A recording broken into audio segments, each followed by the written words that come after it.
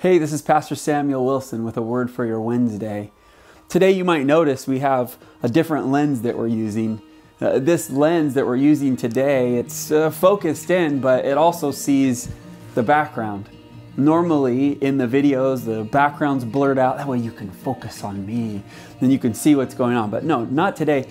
Today, uh, I asked Whitney, who does these filmings, to make sure that we could see the background. These walls are primed they're ready for paint. There's something new happening, but they're unfinished.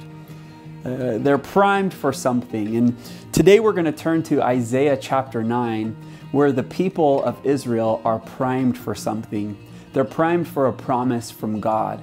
They're living in difficult, dark days with a wicked, evil king. And they need a promise. They need something that they can hold on to. And so in Isaiah chapter 9, we read about the promise of the Messiah, the Savior who was to come. It would be many, many, many years before that Messiah would come, yet there was a promise here given. And this month we celebrate the birth of that Savior, Jesus Christ, but that was foretold all the way back to Isaiah 9. So let's study it together.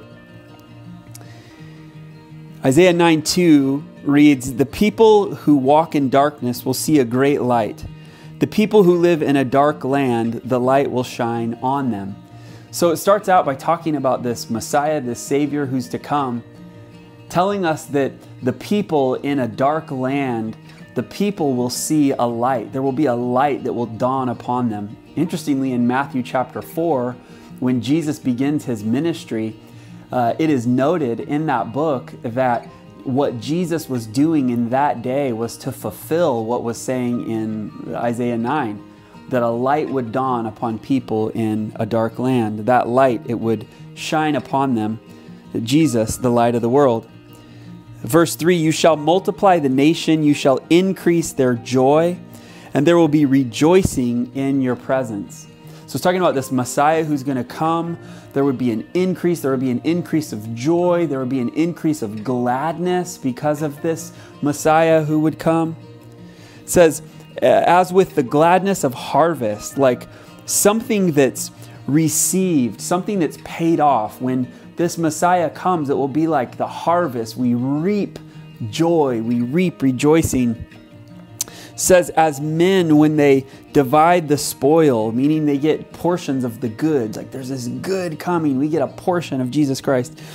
Next in verse 4, you shall break the yoke of their burden, the staff on their shoulders, the rod of their oppressor, oppressor as the battle of Midian. Every boot of the booted warrior, the cloak rolled in blood, will be burning fuel for fire. Basically, it's saying like we don't have to be fitted for battle anymore once the Messiah comes because he's going to win the victory. And we have the victory in Jesus Christ. So this is the Messiah. It's going to come. You don't have to war anymore. Uh, the burden that's on your back, Jesus would come and say, My burden's easy. Uh, my yoke is easy. My burden's light. And then in verse 6, it says, For a child will be born to us, a son will be given. A child, Jesus would be born, he would be an infant. A child would come, a son would be given to us, given to us. That's Jesus. It says the government will rest on his shoulders. So the government will rest on his shoulders. We know that one day Jesus will rule and reign from Jerusalem. Uh, we look forward to that day fully. And then his name will be called Wonderful Counselor. So he's not just a counselor who's with us, who we can hear from and glean from. He's a wonderful counselor. Mighty God, he is our God, the God incarnate, Jesus Christ eternal Father. He's from the, the days of old. He's from the beginning, Jesus Christ, the Prince of Peace.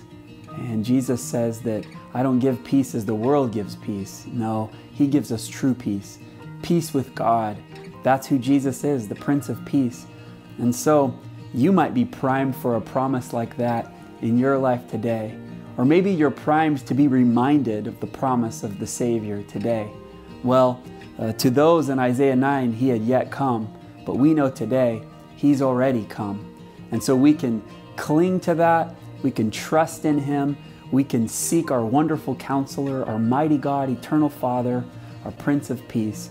I encourage you today to look to Jesus because he is the one who was and is and is to come. God bless you. Have a great week.